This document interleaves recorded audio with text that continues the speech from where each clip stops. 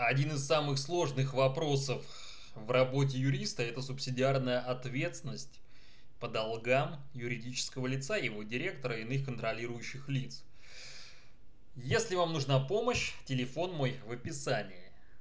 Помните, что суд ошибок не терпит. Ошибетесь разочек в первой инстанции, и дело пойдет прах. Так вот, к чему я?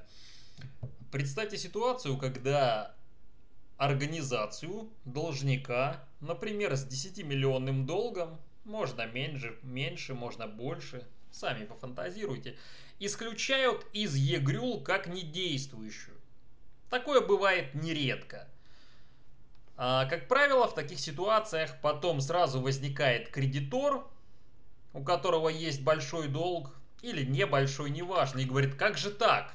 Он сам прощелкал, Потому что все эти данные открыты, он сам прощелкал одним местом. Контору должника исключили. И он теперь говорит, давайте-ка мы на контролирующих должника лиц повесим ее долги, потому что это типа их косяк. На директора, давайте возьмем директора, главбуха, если там еще есть какой-то совет директоров, если это АОшка, то вообще конец света. Давайте еще главного юриста привлечем и главного дворника. А, так дела не делаются, так делать нельзя. Ее исключили, и ссылаться там на 53.1 статью ГК РФ нельзя, как правило.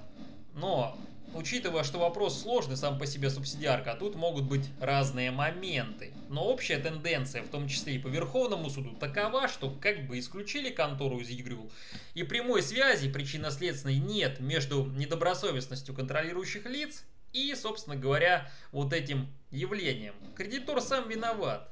Нефиг было... Игрю надо было смотреть.